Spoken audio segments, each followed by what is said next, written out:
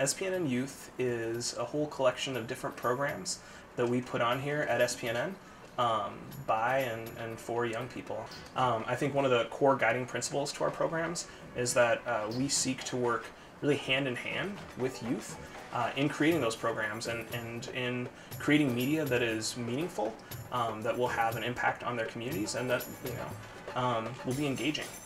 What excites me most is learning like all the potential I have, like to learn everything, and then maybe pursue something more bigger after this.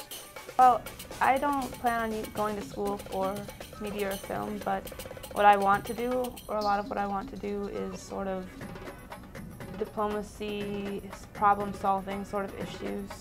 I do plan on being with SPNN in the future because I do want to be in film and I think it's it's helping me learn more about what I want to do and it's it's a, um, making more options for me. Here it's not just about learning how to use cameras.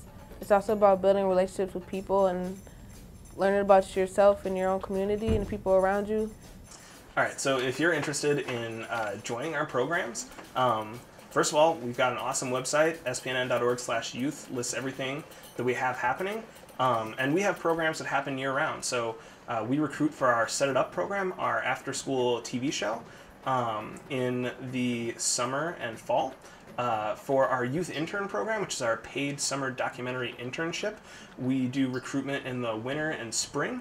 Um, and uh, we also have a variety of smaller workshops and classes that happen year round, so definitely check those out as well. Okay, so you need to join SPNN. It, stands for St. Paul Neighborhood Network, and I think you should just come because it's a good place to be. There's good people and different personalities. And you get to learn how to make a film. You get to learn how to interview people and get interviewed. You can make your own documentaries and all the other good stuff that I know you want to do. So just come.